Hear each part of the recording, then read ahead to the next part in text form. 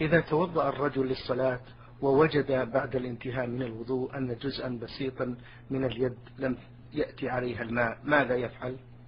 يعيد الوضوء والصلاة لأن وجود شيء يمنع وصول الماء في الأعضاء التي يجب تطهيرها يعني أنه لم يطهر العضو.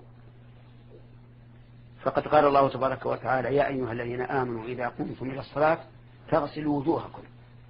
فإذا كان على الوجه شيء يمنع وصول الماء فإن هذا غسل بعض وجهه.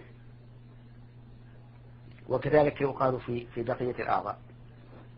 ولهذا اشترط العلماء رحمهم الله لصحة الوضوء إزالة ما يمنع وصول الماء. نعم كالعجين والبوية والجبس وما أشبهها. نعم.